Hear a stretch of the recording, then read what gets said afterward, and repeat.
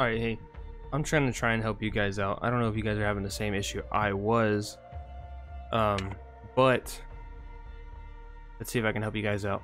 When I would try and play the game, it, and it would it would bring me to the startup screen where it was downloading resources and all that stuff, and it would not. I kept getting an error. It wouldn't load into the actual game like how it is here, um, where you can play and it kept throwing up the error code. I, I exit out, I deleted it, I reinstalled it, everything.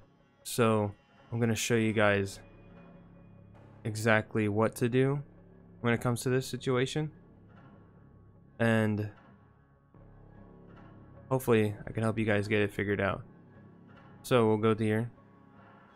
And this is this is if you're using the Battle.net uh, launcher when you buy this game.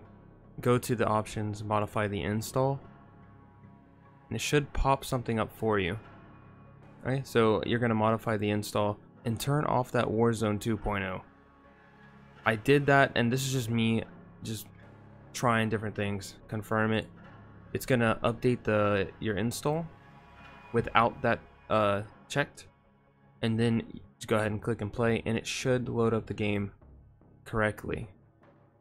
And that's just hopefully get you guys playing this game uh, I was getting really irritated. Because uh, obviously you buy the game, you want to play, and you can't.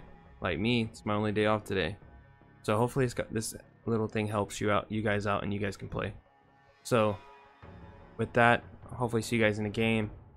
And I know this isn't really, I'm not a tutorial person at all, but the game did just come out, and I I don't know if anyone's having an issue too. So if you are, have a good time playing now. Hopefully it works for you guys.